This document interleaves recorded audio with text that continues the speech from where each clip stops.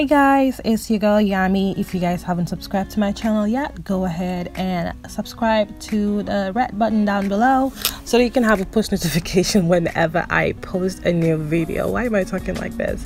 Anyways, um, do you have one of those lazy Sundays that you don't really want to do your hair? That's what I was having this day. So I used the apple cider vinegar to help me with dandruff, naturally detangle my 4C hair and also add shine to my hair and after leaving that for 15 minutes I will be using the SheaMoisture Manuka Honey and Mafura Oil Intense Hydrating Shampoo.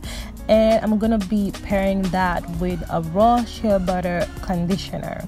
After doing all that um, good hype, good jazz, I'm gonna be mixing an African shea butter, red and organic coconut oil, and after I will be using a Cantu leave-in conditioner.